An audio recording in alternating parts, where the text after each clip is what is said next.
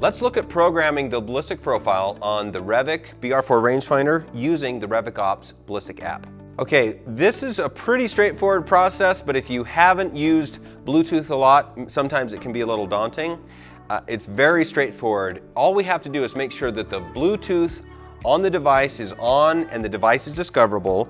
And then in the Revic Ops app menu, we'll go to connect the device. And once we see it, we'll just push the button to connect it. And then all we have to do is pick the profile that we want and we can sync it over to the device and it's ready to roll.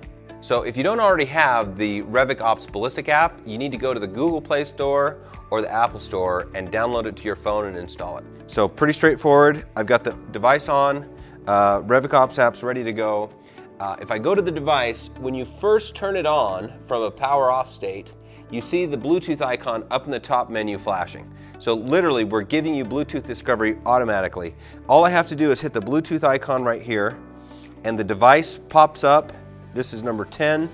I hit the, the wireless button that connects, and then I'm gonna pick a profile. Let's do this 7 LRM ELDM, and then hit sync, done. Now, if you want to double check, you know, using your awesome navigation skills, we can just navigate to the profile.